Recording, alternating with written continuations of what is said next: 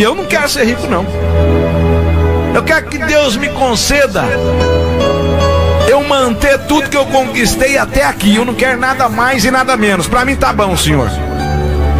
Eu tenho dinheiro para mim ir no sítio voltar, para mim ir na minha casa voltar, para me vestir, para me comer bem e ser feliz ao lado da minha família. Isso é o que basta. Sabe por quê? Porque daqui eu não vou levar nada. Ha ha ha!